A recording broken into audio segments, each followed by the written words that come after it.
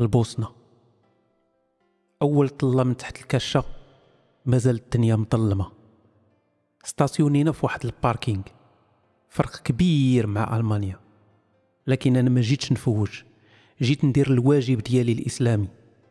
قمقمنا تميرات جبناهم معنا مع واحد العصير ديال المانغو بين بين فيه غير التشاش ديال الفاكهة.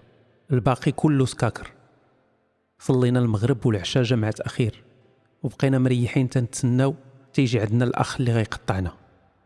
حتى الجوايه الجوج ديال الصباح هاد بان أبو خالد السعودي.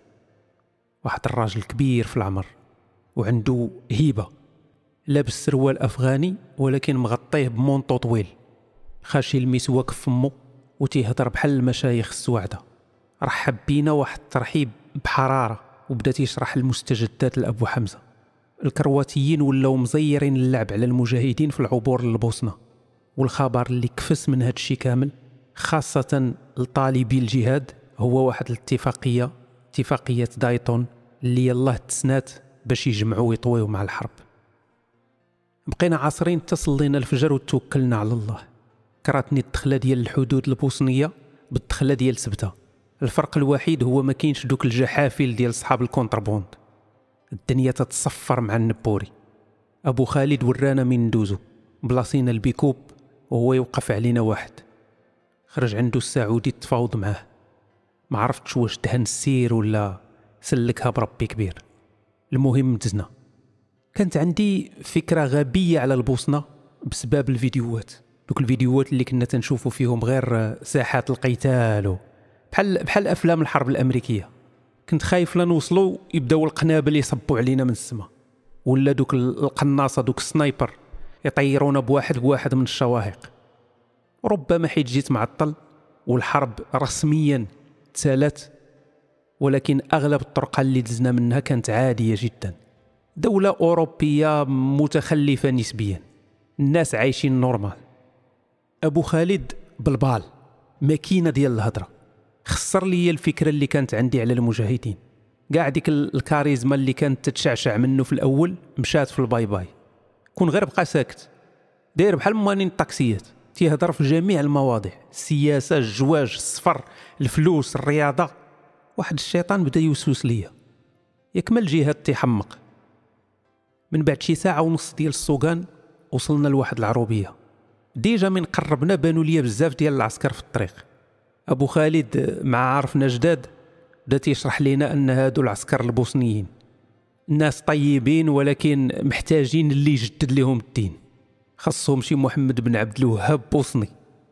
stationنينا هبطنا وبقينا تنتسناو عاوتاني اتجاو الإخوة بواحد الكاميو صغير. عانقناهم وبدينا نشارجيو في الكاميو داكشي اللي جبنا معنا الإخوة اللي جاو عطاوني فكرة على شنو تيتسناني في المعسكر. الجنازة كبيرة والميت فار مرة أخرى الخيال ماشي بحال الواقع. كنت نعتقد أنني غنلقى جيش إسلامي جرار لا أول له ولا آخر. واقف في الجبهة لمواجهة أحزاب الكفر. لكن لقيت عشرات وقيل ما ما كاملينش الثمانية داكشي بحال بحال camping. كل مجاهد اش تيدير؟ أغلبهم هازين مصاحف ديال الجيب دوك الصغيورين. تيقراو فيهم باش يجمعوا الحسنات. ما حسيت في ديك اللحظة بتا شي دفعة إيمانية. يمكن داك اللي تيفلق الشيطان بالحجر في الحج تيحس بالرعشه أكثر مني.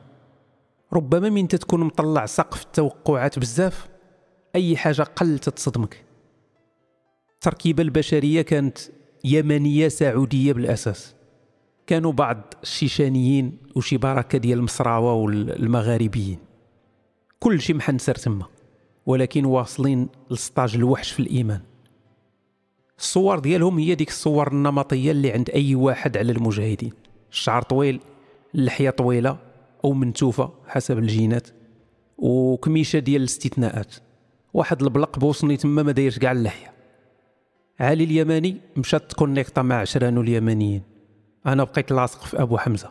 فين ما مشينا تندير الصواب. السلام عليكم. السلام السلام. بارك الله فيك جزاك الله خيرا. أخوكم في الله أبو إسلام. من الإتيكيت الإسلامي؟ مع الظهر نض واحد الأخ يودن. فين يبان بلال.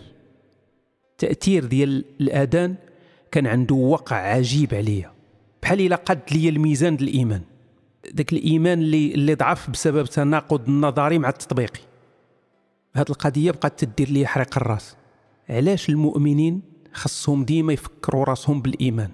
عن طريق الصلاة والصيام وقراءة القرآن. علاش خاص ديما الروشارج